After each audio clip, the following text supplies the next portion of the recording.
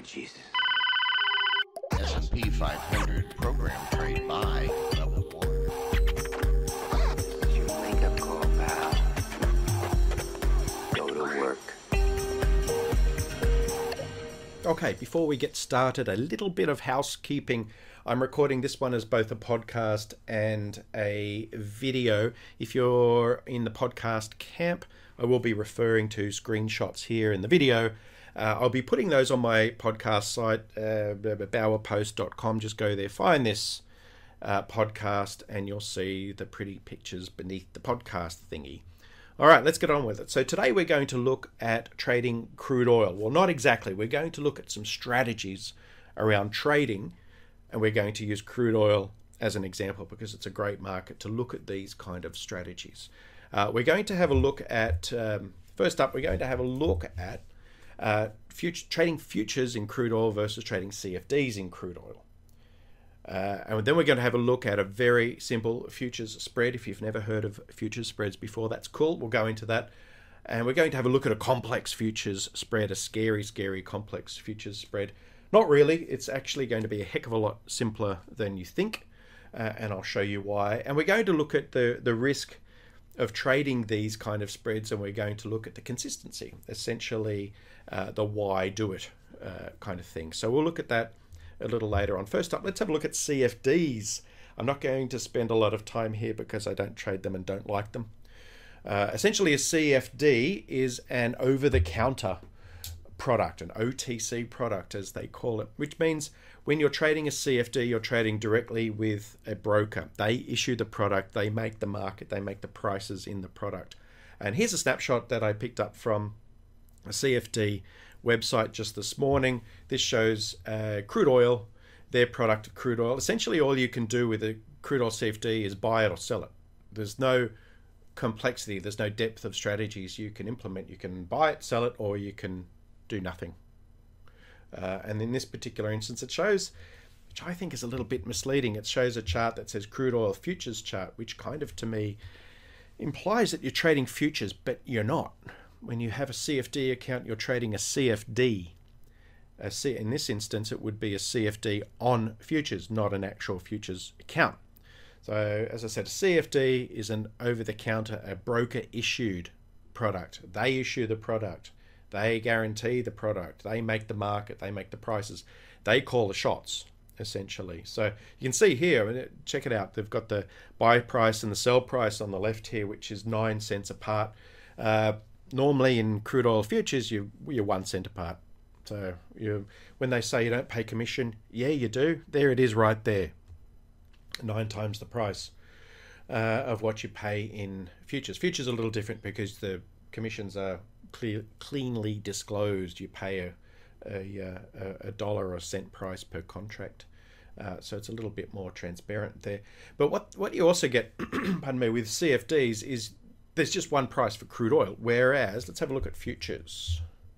Here, this is a list, a table that I just took a snapshot from the CME Chicago Mercantile Exchange, CMEgroup.com. Took, took that snapshot from their website this morning, and it shows some of the futures prices available for crude oil. Now, crude oil has monthly expiries, which which means uh, there's a price for it's now November. There's a price for December. There's a price for crude in January. There's a price price for crude in February, March, April, May, and so on and so on and so on. I think it goes out 10 or 15 years or something like that. But the, the guts of the trading all occurs within the first six, eight, nine months, something like that. But what that does uh, and why this is important, because it means we can take a wider range of clever and well researched strategies uh, more than just your regular buy and sells. It means we can take different risks. We can take lower risks than just a regular buy or regular sell, or regular short, I should say. Uh, it means with less risk, you can go ahead and invest less. It, mean, it means you can hold trades longer. If you've ever been in a trade where you've put a, you've entered the market, you put your stop in, you've seen the market, bang, bang, bang, hit your stop, and then take off in the direction you intended it to. Uh, if you've ever had that feeling of disillusionment or pissed offedness, uh, you're not alone. That happens. But with spreads, you can work out strategies where the the strategy is a little bit more forgiving because of the changing in the nature of the risk. And I'll show you a couple of those strategies in a second. So before before we do, before we get into examples, I just want to cover off what a spread is. Okay, so you may have you may have heard of the term from a buy sell spread point of view. That that means the difference between the buy price and the sell price. Back there, let's go have a look at that CFD again. The the buy sell spread here is about nine cents. Okay, um, that's not what we're talking about here when we talk about spreads. We're talking about when we talk future spreads, we're talking about the price difference between one contract and one or more other contracts. So you've got a list here. We've got a list here December through to September of crude oil prices for each of them. A spread is the difference. A spread price is the difference between any one of those two, for example. So the goal of spread trading uh, is to essentially profit from the change in the price differential, not the change in crude oil overall. And it's also, you know, goal of spread trading is to offer you different risks. Again, we'll get into that. Um, so here's an example of a spread trade. You can see I've got some pretty colored arrows marked next to May and June. And the chart there shows the spread price, the spread differential between the May and June contracts. There's terms now in futures bull spread and bear spread. A bull spread is when you are buying the near contract and selling the far, and a bear spread, believe it or not, is when you sell the near contract and buy the far. In this example, I'm going to have a look at the May versus June spread. May is trading at the moment $39.35, $39.35, uh, and June is trading about 30 cents above that. The spread price, therefore, is May minus June, which will be minus 30, 32 cents. Okay, that's about where the market is for that spread. So just like you can buy futures and hope they go up or go short futures and hope they go down, you can buy the spread or sell the spread with a view of that spread price differential changing. So a bull spread uh, means when you're buying near, selling far, bear spread, selling near, buying far. Kind of makes sense because in most instances, the spread price would be somewhat correlated to the underlying price. That is, if we see crude oil go up, up, up, up, up, we'll see the price differential also go up. Okay, in fact, this is a great example. Uh, you can see in this table here, the previous trading session, May futures lost $1.17 in that particular day, and you can see that the spread price also lost money. But there's a difference in risk too. You can say, okay, so $1.17 uh, in the futures is worth $1,170 per single con- contract. Here in the spread, it looks like we've gone from about 29 cents to down to neg 32, neg 30, neg 32. So it's only lost a couple of cents. So it has that lower volatility. Okay. So that gives you, as I said, that gives you a, a more scope to either risk less, trade more, spread your trades over different spreads, that kind of thing. Uh, in fact, let's take a look at that risk, in not just looking at the end of day prices there. But so here, here I have a chart of May crude and June crude. I use a, the average true range, the ATR, to measure risk and volatility. Uh, it's an indicator that's available on pretty much every single charting package out there. It essentially shows you the average range for a particular session, and we're looking at daily charts here, so it's the average trade range for a day. Currently, the May contract is $1.59 average true range, and the June is $1.61, pretty much the same. Now, in, ter- in dollar um, points, in dollar values, that sh- I should say, that is about 1600 bucks for each of them. So that tells you how volatile the contract is, how you could say how much you expect uh, out of the market on any particular day uh, in terms of volatility, about $1,600 in volatility. Compare that to that spread price. Here we have a chart of the spread. The average true range is 5 cents, not $1.60, but 5 cents, 1 32nd of the amount. So that's about $50 a day. So current volatility for that spread is $50 a day. Now, as implied by that spread, that ATR chart, it does change. Uh, and particularly as you get closer to expiration, things can get a little bit more volatile uh, in something like crude oil or, or, or other spread markets. But um, right now, as it stands, $50 a day risk versus $1,600 a day risk, quite different. So that's one of the attractive features for a lot of people learning to trade spreads. They say, well, I don't have to risk as much when I do this.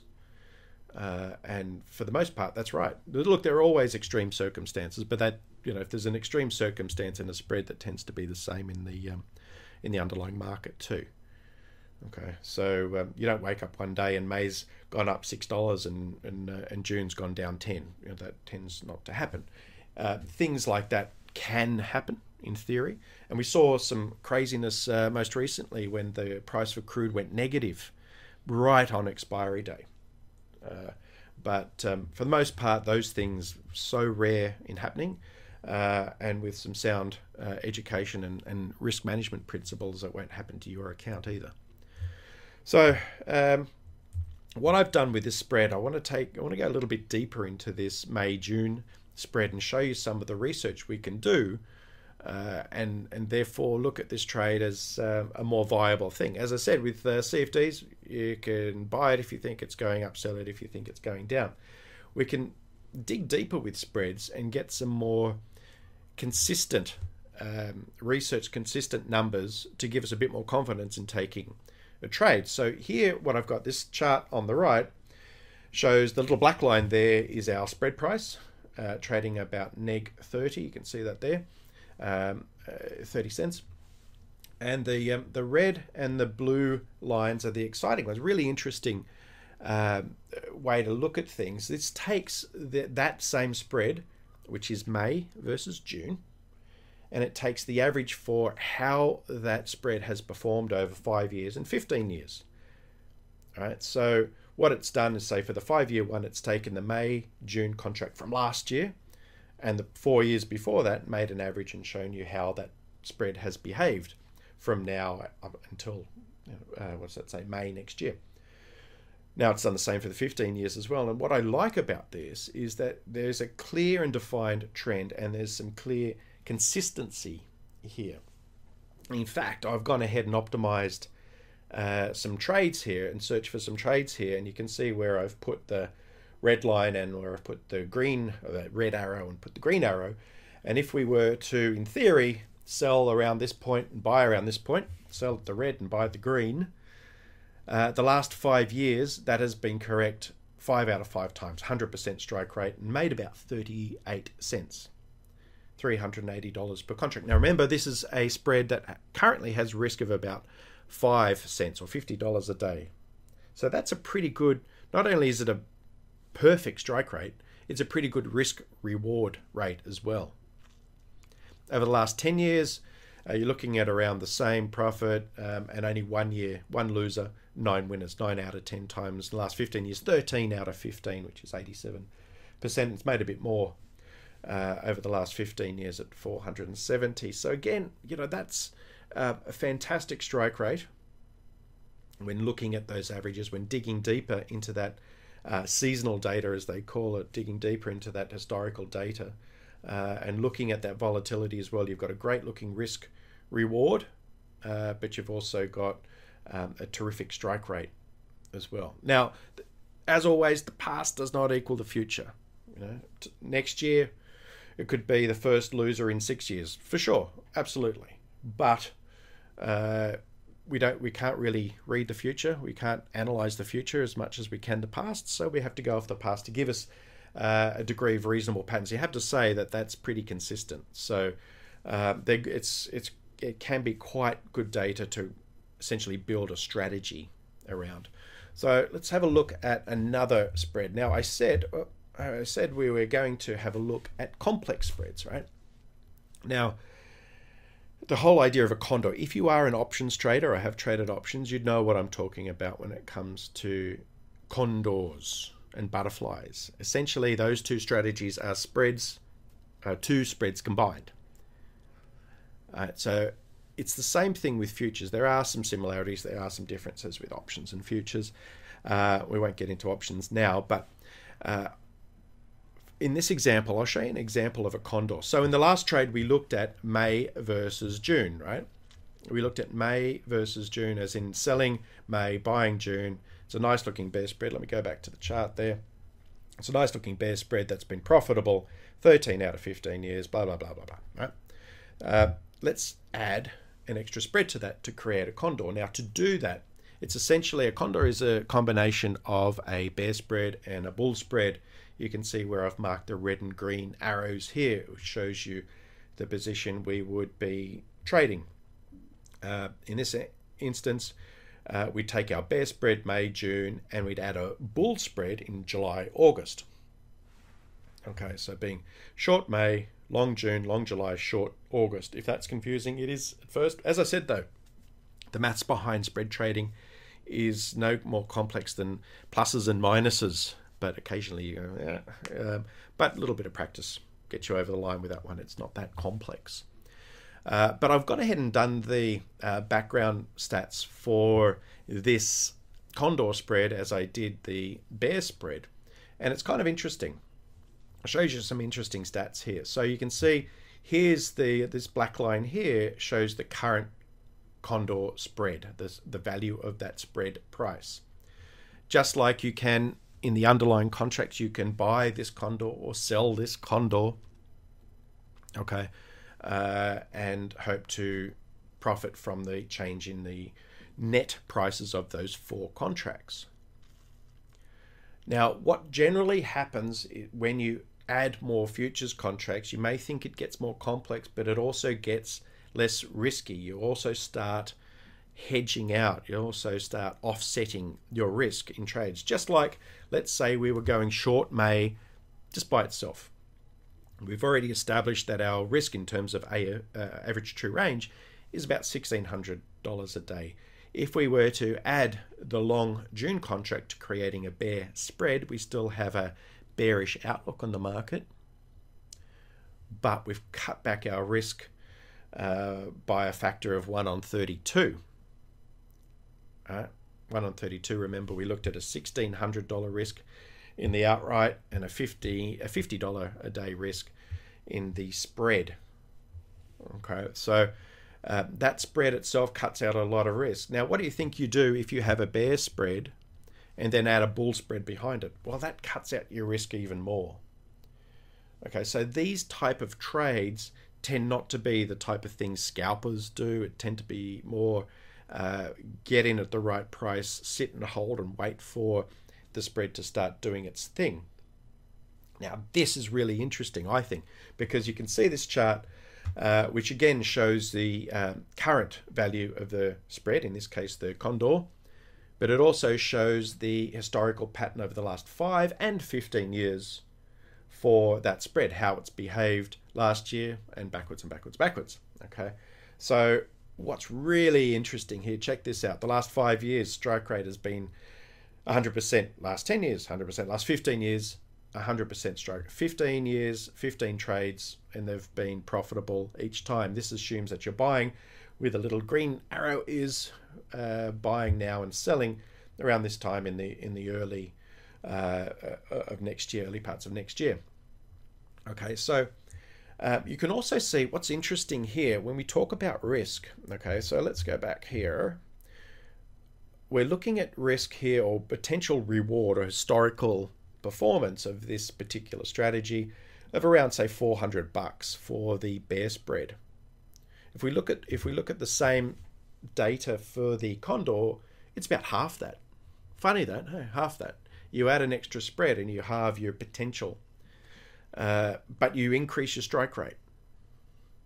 Uh, that's kind of interesting, I think. So again, this type of strategy, while you think at first, oh, oh butterflies, condors, oh, they're way too complex, all they're essentially doing is cutting down on your risk and allowing you to either trade more, tra- trade a wider range of different strategies, uh, or um, uh, or just trade with a smaller account.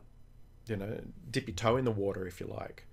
Uh, these aren't necessarily the spreads you should be trading if you've never traded before, but there's certainly something that are worth. I mean, I think I've demonstrated here that it's worth learning about because we we can get that consistency and we can get that more controllable risk than trading outrights. Uh, so, uh, let me sum up here. We've uh, been I've been rambling on for a little bit now, but let me sum up. We covered futures versus CFDs. CFDs are very binary. It's either up or down. Futures can be binary too. You can just buy a futures contract, sell a futures contract. Uh, but once you start getting into the more deeper styles of strategies, essentially futures spreads, uh, you can find that you can start tailoring what you want to risk. Uh, you can start defining your consistency of research a whole lot better. Right, so we looked at that simple, those simple futures spreads, the bull and bears, and then we said, right, well, if we put those two together, we have a thing called a condor. Uh, we've got another video here around somewhere talking about butterflies. There's a podcast there on butterflies as well. So uh, that's a similar thing to a condor. The only difference is what expiries you select. Okay. Uh, so, all in all, uh, a lot of this stuff is covered in my advanced spread trading course on masterclasstrader.com. We go into a whole lot of deeper things in the course too. Things like um, uh, how we go about getting fills, how we build these spreads, why we build these spreads. We dig deeper into the research tools, uh, how we go about getting in and out of the market, and particularly managing risk, managing your portfolio risk, that type of stuff. That's all covered in the advanced spread trading course. But I do want to get across the point that it's not advanced in terms of the complexity. It's just advanced in the terms of your knowledge, you know, taking your knowledge forward and saying, right, well, I've been disillusioned with that um, that whole idea of uh, going long, seeing the market hit my stop, and then only see it again, turn around and keep going up. Uh, if you've had that happen to you, then it might be time to start looking at some more deeper strategies that we cover in the advanced spread trading course. If you go to masterclasstrader.com, uh, there should be a link along the top that says specials, and that'll get you. Um, currently, there's a special there for 20% off uh, or 40% off depending on what package you buy. So it's pretty good, a pretty good deal. Check that out, masterclasstrader.com, and click on the specials link. And that's about it for now. Happy trading and good luck out there. You've reached the end of another episode of the Trading with GB podcast. Thanks for listening and see you at the next episode.